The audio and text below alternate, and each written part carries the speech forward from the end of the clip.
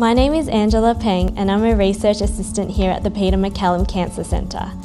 I'm intrigued by the constant evolving nature of research, and cancer research in particular is developing at a rapid rate thanks to new and exciting discoveries. For me, every day is a little bit different. One day can consist of computer based work like data entry and data analysis, and other days I can be at the bench doing wet lab work all day.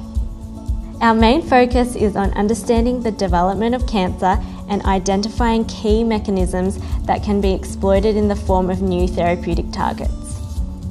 I completed a Master of Biotechnology at RMIT University. The lecturers were very supportive and I gained valuable skills that were relevant to the workplace.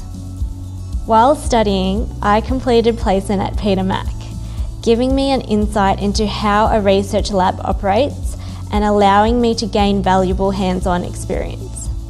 The job seeker environment is competitive, but industry experience definitely gave me not only an edge, but a valuable networking experience. Peter Mac is a fantastic place to work. As a research institute within a busy hospital, researchers here tend to stay extremely motivated.